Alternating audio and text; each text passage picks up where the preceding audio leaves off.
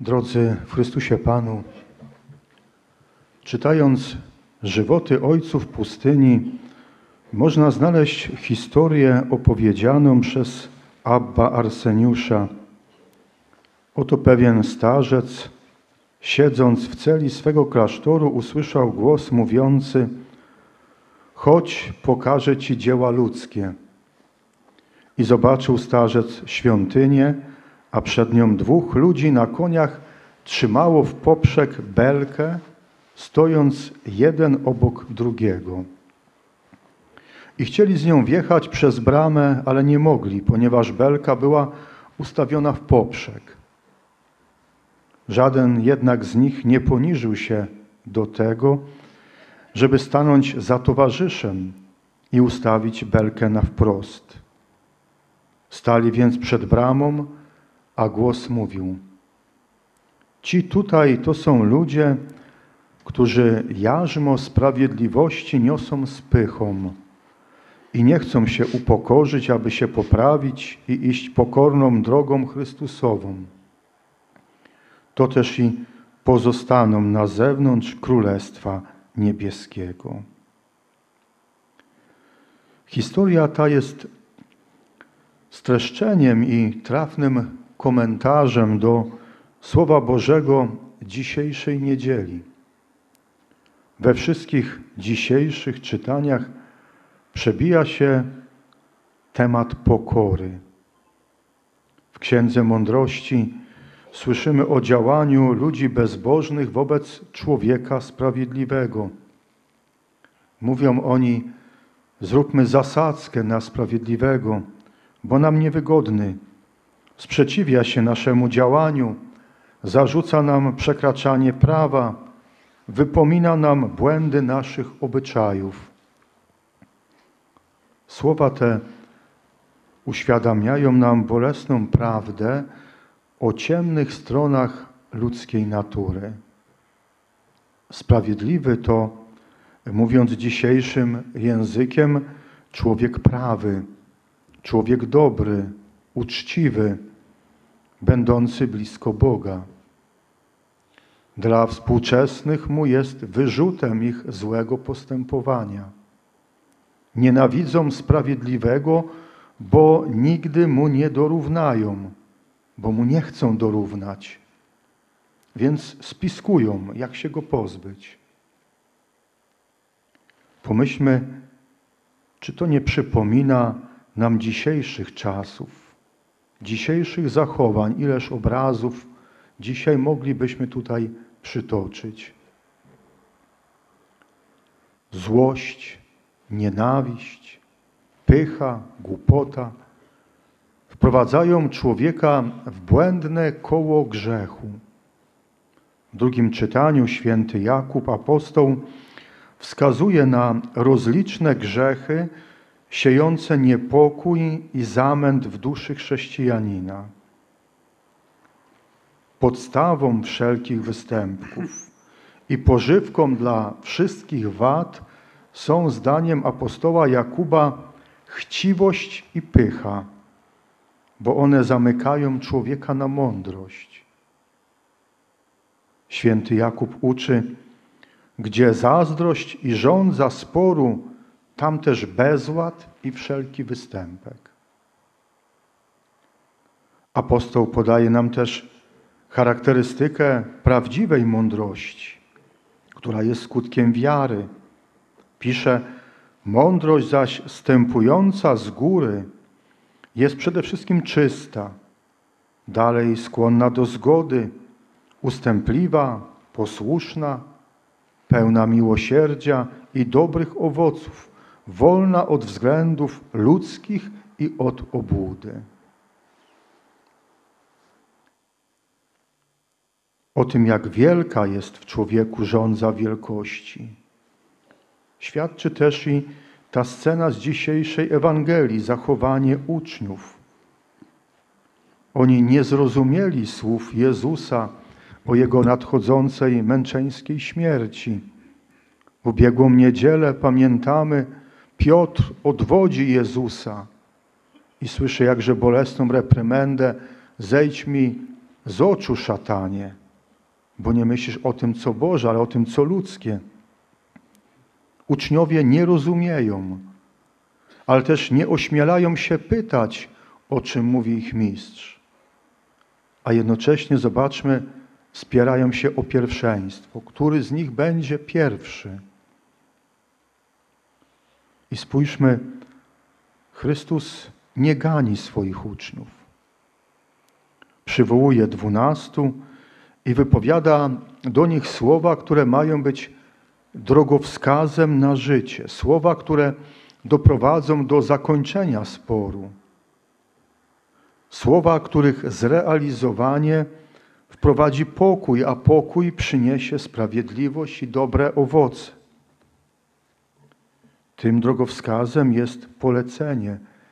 Jeśli kto chce być pierwszym, niech będzie ostatnim ze wszystkich i sługą wszystkich. A jednocześnie, aby zobrazować tę służebno-opiekuńczą postawę, Chrystus Pan stawia przed nimi dziecko. Dlaczego dziecko? Ponieważ dziecko jest prostoduszne, niewinne, czyste, jest naturalne w swoich zachowaniach, wolne od grzechu i obłudy, która pojawia się w późniejszym wieku. Drodzy bracia i siostry, Pan Bóg pragnie nam dzisiaj powiedzieć, że czynami ludzkimi musi rządzić pokora, która jest sługą mądrości. Podstawą do zdobycia takiej mądrości jest nawrócenie, czyli uznanie siebie za sługę wszystkich. Można zatem powiedzieć, że u podstaw wypełnienia Chrystusowej Ewangelii w życiu chrześcijan leży nawrócenie. Środkiem jest pokora, a owocem jest mądrość. Co to znaczy nawrócić się? Czyli uznać siebie za sługę wszystkich. Przede wszystkim nawrócić się to uznać w Bogu swojego jedynego Pana. Cały paradoks nawrócenia polega na tym, że aby służyć ludziom, trzeba najpierw stać się wielkim i bogatym u Boga. Taka jest kolejność. Rozumiała to i w piękny sposób realizowała święta, którą dzisiaj czcimy, święta Rita. Nazywana patronką spraw trudnych. Doświadczyła wielu cierpień i przeciwności w różnych stanach życia i potrafiła pokonywać wszelkie przeszkody w duchu pokory i miłości. Wszędzie czyniła pokój. Niosła pojednanie zwaśnionym i skłóconym. Nie dokonała w swoim życiu niczego takiego, co jest wielkie w oczach świata. Ona po prostu wypełniała tylko zawsze zwyczajne obowiązki swego stanu, czy to jako żona, czy matka, czy potem jako zakonnica. Wszystko to czyniła w duchu pokornego poddania się woli Bożej z nadzwyczajną wiernością. Połączyła w swoim życiu trud pracy i miłosierdzie chrześcijańskie z głęboką mistyką cierpienia. Jedno z opowiadań o życiu Rity wspomina o tym, że przełożona nakazała jej codziennie podlewać suchy patyk wbity w ziemię w ogrodzie.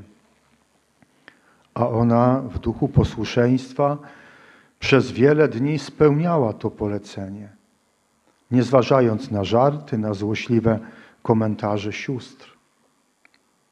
Jakież było zdumienie, gdy pewnego ranka ten wysuszony patyk zaowocował pięknym winnym gronem.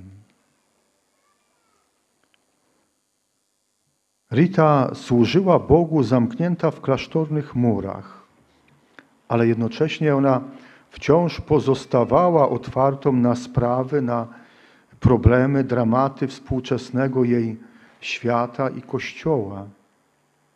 Już za swego życia wypraszała wiele łask potrzebującym modlitewnego wsparcia. W zaciszu swej zakonnej celi modliła się, pościła, podejmowała umartwienia, które ofiarowała za chorych, za cierpiących, za małżeństwa, które przeżywały kryzys, za zwaśnione rodziny. Pan ją wysłuchał i potwierdził to, potwierdził to tą szczególną łaskę wybrania, jaką ją obdarował, a tym szczególnym darem Pana Jezusa dla Rity był dar cierpienia. To, co widzimy tutaj na obrazie, jej czoło zranione cierniem, jej czoło krwawiące. Pan Jezus z krzyża, przed którym święta się modliła, którym prosiła o to doświadczenie cierpienia w jej życiu, posłał jej cierń ze swej cierniowej korony. I ten cierń przez piętnaście lat boleśnie ranił jej czoło, ale także i powodował brzydki zapach, który zniechęcał innych, który sprawił, że była powodem niezrozumienia, także była też i odrzucana przez swoje współsiostry. Żyła dla Boga. Żyjąc dla Boga, żyła dla ludzi. Istotą bowiem naszego chrześcijańskiego życia jest proegzystencja, czyli bycie dla kogoś, bycie dla czegoś. Nikt z nas nie żyje tylko dla samego siebie. Nikt z nas nie żyje tylko dla własnych celów. Żyjemy, jesteśmy tutaj na ziemi po to, aby żyć dla innych, aby innym nieść Boga, aby żyjąc dla Boga jak Rita, żyć właśnie dla ludzi. Jak zapisał znany działacz chrześcijański, sekretarz generalny ONZ-u, Dag Hammarskjöld w książce Drogowskazy, życie ma wartość jedynie przez swą treść dla innych. Dlatego jak niepojęcie wielkie jest to, co otrzymałem w darze, a jak nikłe jest to, co ofiaruję. Rita to rozumiała. Żyjąc dla Boga, żyła dla ludzi. Żyjąc wśród ludzi, żyła dla Boga. Jej postać jest wzorem świętości, także i dzisiaj jakże aktualnym. Te cnoty, które podejmowała, te cnoty, które w sobie przez tą ciężką pracę, umartwienie wyrabiała, jakże są i dziś również aktualne. Wyróżnienie związane z jej imieniem, Nagroda Świętej Rity, jest przyznawana osobom, które dają swoją postawę świadectwo przebaczającej miłości. Takie nagrody otrzymały Marianna Popiełuszko, matka zamordowanego księdza Jerzego. Taką też nagrodę otrzymała piosenkarka Eleni, która przebaczyła zabójcy swojej córki. Drodzy, hiszpański pisarz Pedro Calderón de la Barca napisał dramat Wielki Teatr Świata. Utwór ten oparty jest na tekstach autorów starożytnych, m.in. świętego Jana Chryzostoma. Według tego dramatu świat podobny jest do teatru. Bóg wyznaczył w nim każdemu człowiekowi jakąś rolę do odegrania. I w tym przedstawieniu Jeden ubiera się w szaty króla i gra jego rolę. Inny z długą brodą i księgą w ręku jest filozofem. Inny w białym fartuchu gra rolę lekarza, jeszcze inny profesora, rolnika czy rzemieślnika. Gdy kończy się przedstawienie i zapada kurtyna, wówczas wszyscy zdejmują kostiumy i maski i są oceniani. A są oceniani nie według tego, jaką rolę grali, ale jak swoją rolę odegrali. Podobnie i my, wszyscy ludzie, występujemy w wielkim teatrze świata. Kiedyś, gdy po naszej śmierci zapadnie zasłona nad przedstawieniem, jakim jest nasze życie, gdy odpadną szaty, tytuły, honory, zajęcia, będziemy sądzeni nie według naszych stanowisk i prac, ale według tego, jak je wykonywaliśmy. I wówczas król rzeczywisty może być oceniony niżej od swego sługi. Niestety w tym wielkim teatrze świata, w życiu wielu troszczy się bardziej o dużą rolę do odegrania, niż o to, jak ją odegrać. Brak cnoty, którą my, chrześcijanie, nazywamy pokorą. A ta pokora jest jakże nieodzowna. Święty Augustyn, zapytany o drogi prowadzące do nieba, odpowiedział: Pierwszą drogą jest pokora, drugą pokora, trzecią pokora. Pokora, która nie jest fałszywym umniejszaniem siebie po to, aby osiągnąć jakąś korzyść, ale pokora, która polega na uznaniu własnych grzechów i uznaniu Boga jako źródła pochodzenia wszelkiego dobra. Dla chrześcijanina więc pokora to prawda o sobie i o Bogu. Prawdziwej pokorze towarzyszą pewne znaki: radość, pokój, cichość, moc. To, co też było właśnie w życiu świętej Rity. Jej życie było nacechowane radością, pokojem, wielką cichością, a jednocześnie mocą, bo Bóg przez nią dokonywał jakże i dokonuje nadal wielkich rzeczy. Objawiami fałszywej zaś pokory są zniechęcenie, rezygnacja z z ćwiczenia się w cnotach, nieustanny niepokój serca i brak przebaczania sobie popełnionych błędów. Kochani,